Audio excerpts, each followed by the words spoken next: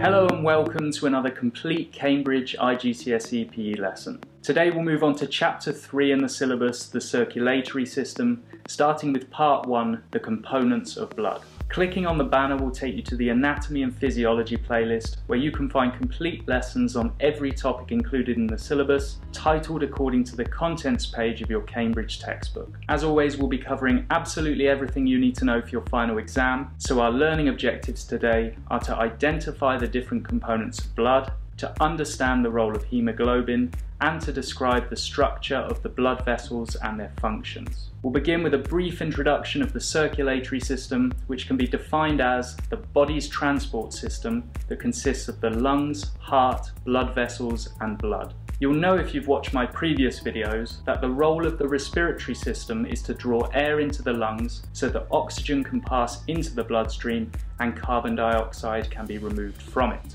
Once the respiratory system has done its job, the circulatory system takes over. The heart pumps blood through a network of blood vessels, delivering oxygen to the body's tissues. Oxygen can then be used to produce energy, enabling our muscles to contract, providing movement. Now we'll study the heart in our next lesson, but today we need to gain an understanding of the blood and the blood vessels. Put simply, blood is a liquid containing four components. Plasma, red blood cells, white blood cells and platelets, each of which have a specific role to play. It's actually possible to separate these components by spinning a blood sample in a centrifuge machine. The heavier components sink to the bottom, allowing us to see the relative proportions of each. We'll start with the plasma, which is a straw-coloured liquid that consists mainly of water. Because it flows easily, the main function of the plasma is to transport gases, nutrients, waste products and the other components of the blood to where they are needed. The red blood cells are primarily there to transport oxygen. They contain a substance called hemoglobin that reacts with oxygen from the lungs, forming oxyhemoglobin.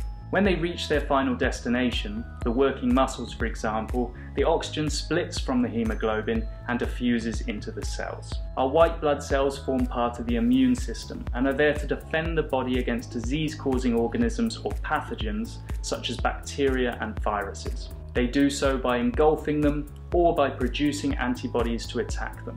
Finally, we have the platelets. They contain an enzyme that causes the blood to clot whenever a blood vessel is damaged. If it weren't for the platelets, there would be nothing to stop the cut or graze from bleeding and the wound would stay open, making it easy for pathogens to enter the bloodstream. So now that we've gained an understanding of the blood, we need to take a look at how it's transported around the body so that it can perform its functions. There are three groups of blood vessels that work together to form a vast network throughout the body, and we'll take a look at the arteries first, which transport typically oxygenated blood away from the heart. Every time the heart beats, it forces blood into the arteries at high pressures, enabling the blood to reach even the most distant tissues. Arteries therefore have thick muscular walls to cope with this pressure, while the lumen or space within the vessels is narrow, increasing the efficiency of blood transportation. Once the blood reaches a tissue, such as a muscle, the arteries branch off into tiny blood vessels called capillaries. The primary role of these vessels is to allow nutrients, gases and waste products to move from the blood and into the cells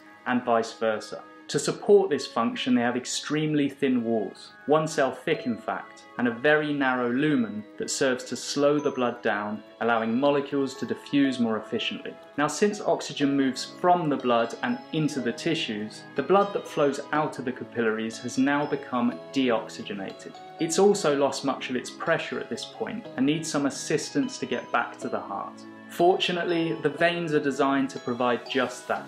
They have a much wider lumen than arteries, allowing blood to flow without resistance, and also contain valves, which prevent low pressure blood from flowing backwards due to gravity. Now there was plenty of information packed into this one, so well done if you managed to keep up. Pause the video now if you'd like to compare what you've learned to the knowledge checklist and make sure you come back and revisit the lesson if there's anything you haven't grasped yet. Finally, make sure you subscribe and click the bell to receive notifications every time a lesson is posted and feel free to leave a question in the comments section if there's anything you're unsure of. As always, I hope you found this video useful and I'll see you in the next one.